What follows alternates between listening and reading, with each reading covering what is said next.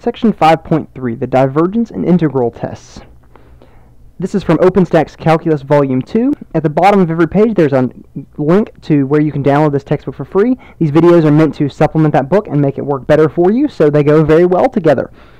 Alright, so in this section we have the divergence test. This is the simplest of all tests that we're going to talk about to determine if a series converges or diverges. And it says that if the limit as n goes to infinity of a n, a sub n, equals c, so some number that's not 0, or the limit does not exist, then that series, the sum of, from 1 to infinity of a sub n, diverges. So, if you think about that for just a second, what that means is that the tail of that series, as the terms go farther and farther, if the terms are not getting smaller that you're adding on, if they don't get smaller, then it's got to be going, it can't be converging. It's got to be going to infinity or something, or it's bouncing around like an alternating series or alternating sequence. So the tail has to go zero. The end of our sequence sequence must be going to zero. That does not necessarily mean that if something diverges that the tail is going to zero because we can have something like the alternating sequence negative 1 0 negative 1 0 negative 1 0 where that's yeah it's diverging but the tail of it is never getting smaller okay so the converse of that is not true so pay careful attention to the order that comes in now let's apply the divergence test to this sequence Okay.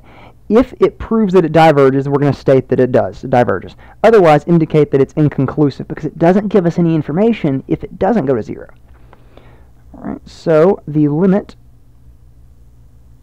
limit as n goes to infinity of n over 3n minus 1, that corresponding sequence, that limit is going to be one third. So that means, therefore, the sum from 1 to infinity of n over 3n minus 1 diverges. Fantastic news if that's the case. We now know something. We know that it diverges. Next example, we have the sum from 1 to infinity of 1 over n cubed.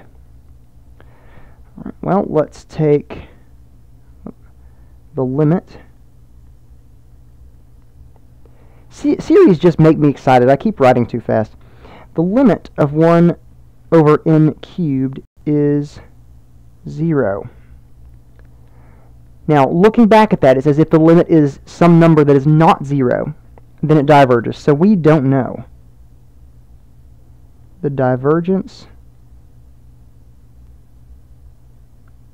test is inconclusive. Now that really is not much of an answer. That means, just like um, with medical procedures and anything else, that means we need to look a little closer. We need to take a second look, get another opinion. Okay, so there are lots of tests in this chapter from uh, from uh, section three to section six that will come in very useful. So just because this one doesn't work does not mean it doesn't converge or doesn't diverge. We just don't know yet. All right, let's apply that to 28. Well, if I take the limit of e to the 1 over n squared. Well, this exponent is going to 0, so this is approaching 1. Therefore, n equals 1 to infinity of e to the 1 over n squared diverges.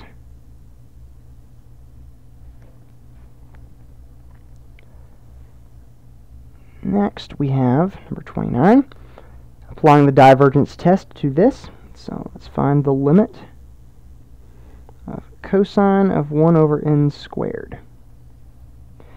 Again, cosine is continuous just like the exponential function is. So this is going to 0, which means that our limit is 1. Therefore, that series cosine of 1 over n squared diverges because it is not 0. I would really like for you to be able to read that. Okay, there we are. Okay, next in line we have the integral test. Now, our techniques for integration come in very handy here. Okay, so suppose that this series we have has positive terms, And suppose that there's a function and a positive integer n such that the following conditions are satisfied. 1. f is a continuous function. 2. f is a decreasing function.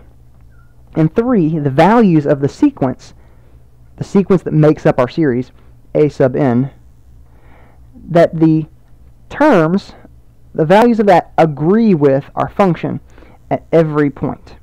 That's the idea. They have to be the same. Then in that case, that series, a sub n, and the integral of that function both converge or diverge. Now that does not mean that they converge or diverge to the same thing, to the same value. It just means that they both either converge or diverge. So let's see what we can do with 1 over n cubed. Now this one was inconclusive on the last one, right? We, we actually did this, it was like the second example, and we said it was inconclusive, the divergence test was inconclusive. So here's us taking a second look. So let's suppose, let's consider f of x equal 1 over x cubed. And just because I don't have much of an idea of where to look, let's take cap n equal to 1. So let's take the integral from 1 to infinity of 1 over x cubed dx. Okay, now we saw in our last chapter, improper integrals, okay, in chapter 3, that we've actually got to take a limit here. Okay, so I'm going to sort of abuse the notation at this point, okay, and use it a little loosely, but understand that I am taking a limit implicitly here. Okay, so that would be negative 1 over 2x squared. And that is evaluated from 1 to infinity. Okay, so I'm taking the limit for my first term here. So if I take the limit as as um, our value goes to infinity, as x goes to infinity, that is going to be 0. Subtracting, plugging in 1, that would be plus 1 half, and that is 1 half. So that means that this integral converges, and therefore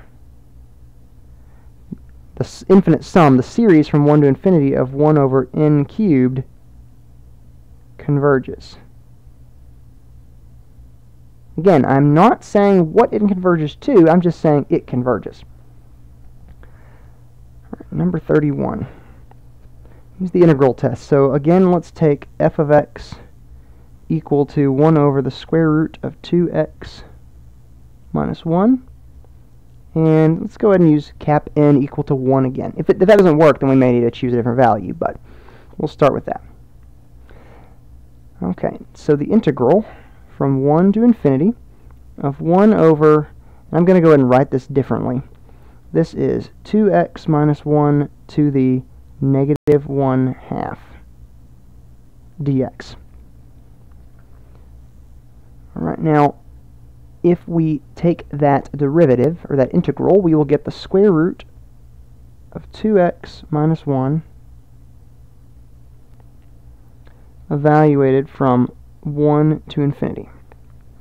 If you don't believe me there, let's take the derivative 2x minus 1 to the, whoops, 2x minus 1 to the 1 half. If we take the derivative of that function, we get 1 half 2x minus 1 to the negative 1 half times 2, which is 1 over the square root of 2x minus 1. Okay, so that taking our our derivative there. Alright, now if I take the limit as x goes to infinity, that is going to be infinity. It's going to be infinite. Okay, now we plug in 1. That's going to be minus 1. Doesn't really matter, so that means this diverges, that integral diverges, and therefore the sum of 1 over the square root of 2n minus 1 diverges.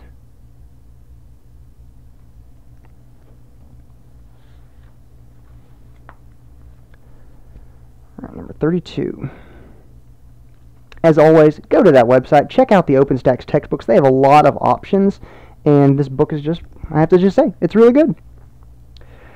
All right, use the integral test to determine whether this series converges or diverges.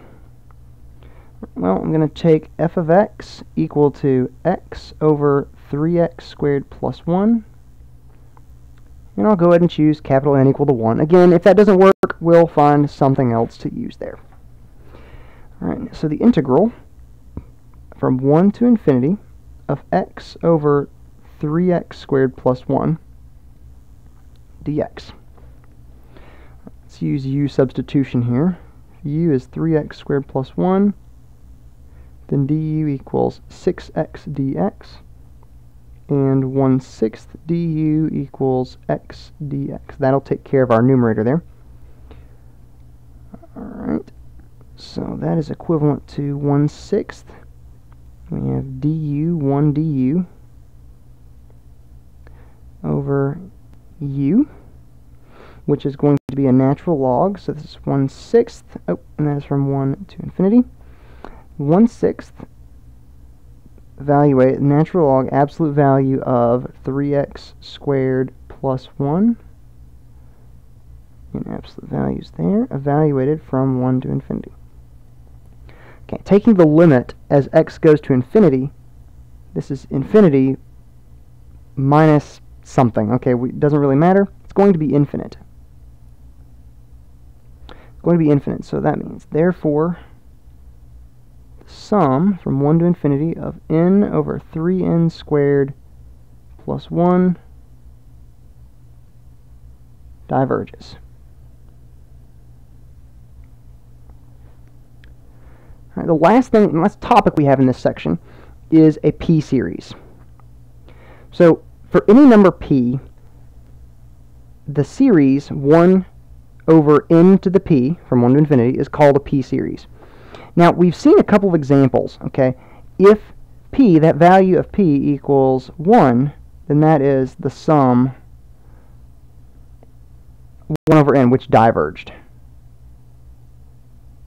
That is the harmonic series p equals 3 we looked at. That would be the sum 1 over n cubed. Okay, that converged. And we showed that by using by using the integral test. And if you try a couple more values, you might convince yourself that this is true. If this converges if p is greater than 1 and diverges if it's less than or equal to 1. Okay. take a little minute to convince yourself of that fact and then hold on to that fact and use it often. So first, example 33, determine if it converges or diverges. Well, here p equals 4. That's greater than 1. It converges.